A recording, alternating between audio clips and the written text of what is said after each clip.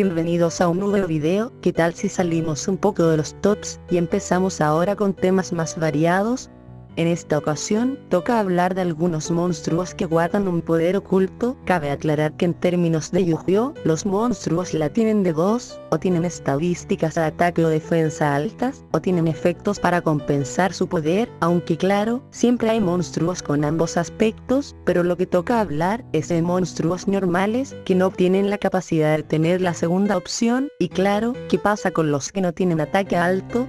Pues que se les da una descripción y ya está, pero hay algunos casos donde la descripción muestra más de lo que aparentan a simple vista, cabe aclarar que si los pongo aquí, es porque podrían volver nuestro mundo en un caos, para que se den una idea de qué pasaría si solo un monstruo de este video existiera, sin más que añadir, empecemos. Todos sabemos que si alguien llegara a controlar la luz y la oscuridad, tendría la capacidad de tener acceso a lo que se conoce en Yu-Gi-Oh como la magia del caos. Pues bien, Tauter Chanter es un maestro del Yin y el Yang, quien controla o manipula un delicado balance de hechizos y contrahechizos no se fijan mucho en sus puntos de ataque y defensa, puesto que si este tipo existiese en la vida real, fácilmente podría tener al mundo a sus pies. El tipo puede utilizar y manipular tanto la luz como la oscuridad, solo para que se den una idea de lo que significa esto. En Naruto, el mismísimo Hagoro Motsutsuki, un tipo sin mucha relevancia más que siendo el maldito sabio de los seis caminos, siendo el primer Jinchuriki de la historia, al sellar al 10 colas dentro de él, y es considerado la figura más poderosa de la historia de Naruto, siendo solo superado por su madre Kaguya, o, y por cierto, la habilidad de controlar el elemento del Yin y el Yang en Naruto es conocida como la creación de todas las cosas, así que, creo que ya se fijan qué nivel tiene este sujeto en nuestro mundo, ya que si sabemos con certeza qué pasaría si algún personaje de Naruto fuerte existiese en nuestro mundo, pues este sería él, posiblemente, segundo personaje más poderoso de Naruto, y lo digo en base a la información de la guía de Naruto.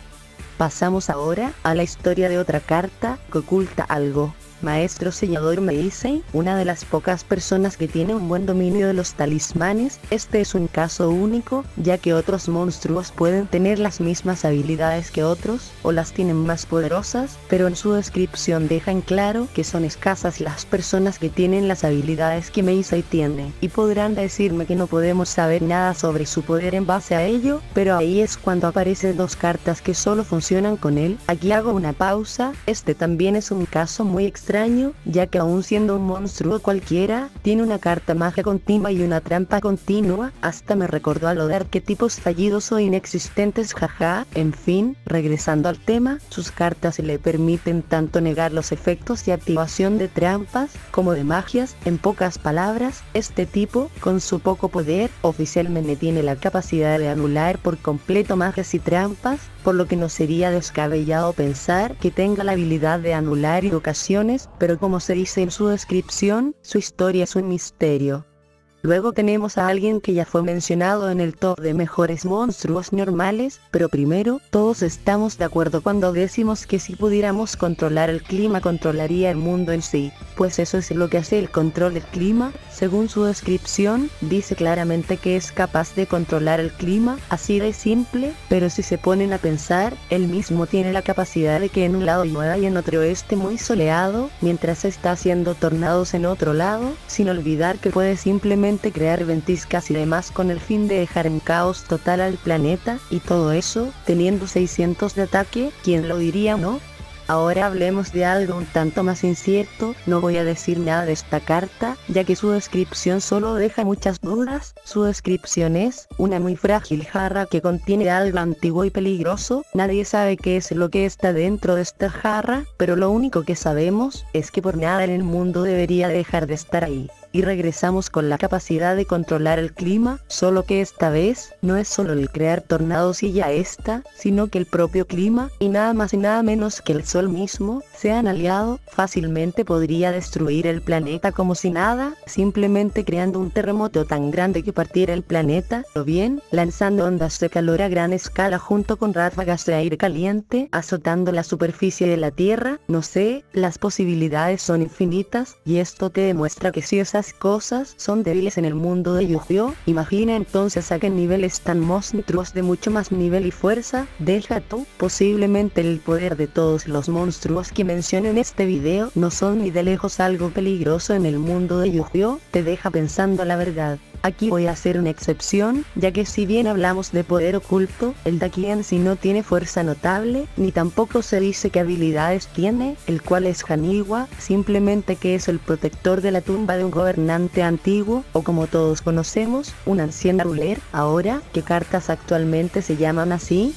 Pues, no existen alguien llamado de esa manera, pero sí existen monstruos que se llaman rulers, de muchos tipos y muy variados, pero no hay alguno que pueda ser relacionado de alguna manera a Haniwa, pero aún así, el ser el protector de la tumba de un gobernante antiguo, es un peso muy grande, y se lo han dado por algo. Y por último, creo que los voy a dejar con la cabeza muy, pero muy revuelta, a lo largo del video hemos visto seres capaces de controlar la luz y la oscuridad, el clima, y de cosas que simplemente son algo de temer. Y ahora, veremos a alguien que no necesita tanto poder para hacer que el mundo esté en caos, y es alguien que muchos han dicho que es el monstruo más débil, el maldito Toussaint de Yesidol, ¿alguna vez han leído su descripción? El tipo a pesar de ser débil, tiene la capacidad de controlar los corazones de las personas, y eso no es todo, porque sus múltiples ojos, le permiten ver y expandir los pensamientos negativos del alma de una persona, ¿se dan cuenta de lo mortal que es este sujeto?